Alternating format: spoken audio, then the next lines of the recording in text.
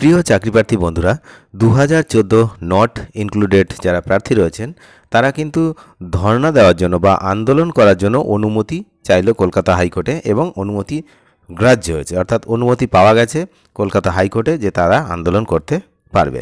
আপনারা জানেন যে দু হাজার যে সমস্ত নট ইনক্লুডেড ক্যান্ডিডেট রয়েছেন, তাদেরকে ধাপে ধাপে নিয়োগ করার কথা স্বয়ং মুখ্যমন্ত্রী মমতা ব্যানার্জি বলেছিলেন।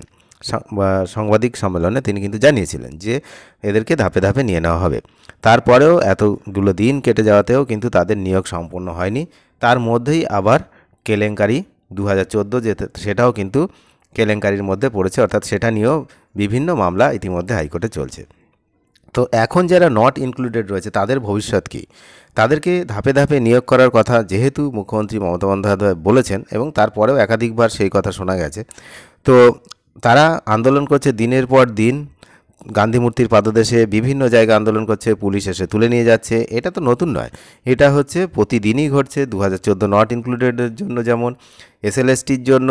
এদিকে হচ্ছে প্রাইমারি দু হাজার নয় সাউথ চব্বিশ পরগনা তাদেরকে প্রতিদিনই প্রায় তুলে নিয়ে যাওয়া হচ্ছে। তারা আন্দোলন করতে গেলেই তাদেরকে তুলে নিয়ে যাওয়া হয় প্রিজন ভ্যানে করে। এগুলো দেখে দেখে আমরা অভ্যস্ত হয়ে গেছি। এবার হাইকোর্টের অনুমতি নিল কিন্তু দু হাজার চোদ্দ নট ইনক্লুডেড ক্যান্ডিডেটরা আন্দোলন করার জন্য। চলুন বিস্তারিত আমরা দেখে নিই। চাকরির দাবিতে ফের আন্দোলনে বঞ্চিত চাকরি প্রার্থীদের। শর্তাধীন অনুমতি দিল কলকাতা হাইকোর্ট। দু হাজার চোদ্দ সালের প্রাথমিক টেটে বঞ্চিত চাকরি প্রার্থীরা চাকরির দাবিতে আন্দোলনে নামতে চলেছেন, তাতে শর্তাধীন অনুমতি দিল কলকাতা হাইকোর্ট।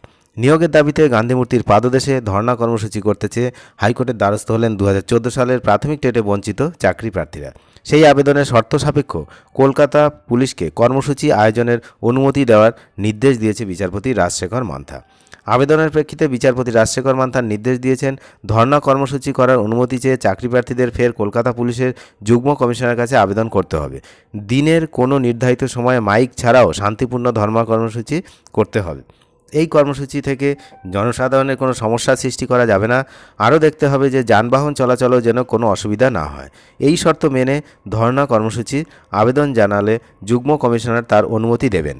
প্রসঙ্গত উল্লেখ্য, বিধানসভা ভোটের আগে মুখ্যমন্ত্রী মমতা বন্দ্যোপাধ্যায় ঘোষণা করেন, রাজ্যে ষোলো হাজার পাঁচশো জন প্রাথমিক শিক্ষক নিয়োগ করা হবে।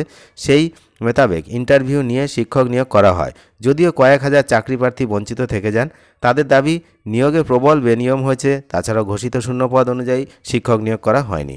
ফের আন্দোলনে বসতে চলেছেন চাকরি প্রার্থীরা। তাহলে আমরা নজর রাখছি যে দু হাজার চোদ্দ নট ইনক্লুডেড ক্যান্ডিডেটদের অবশেষে কি হয় তাদের ভবিষ্যৎ। মুখ্যমন্ত্রী তার কথা রাখেন, যদি রাখেন, তাহলে কিন্তু তাদেরকে সবাইকেই অ্যাপয়েন্টমেন্ট লেটার দিতে হবে। আর এটাই হচ্ছে তাদের দাবি যে তারা যে নট ইনক্লুডেড রয়েছেন, তাদের ইমিডিয়েট অ্যাপয়েন্টমেন্ট লেটার দেওয়া হোক এবং যে সমস্ত বেনিয়ম হয়েছে, সেইগুলোকেও কিন্তু কারেকশান করা হোক। অনেক ধন্যবাদ ভিডিওটি শেষ পর্যন্ত দেখার জন্য। চ্যানেলে নতুন হলে অবশ্যই চ্যানেলটিকে সাবস্ক্রাইব করে সঙ্গে থাকবেন। ধন্যবাদ।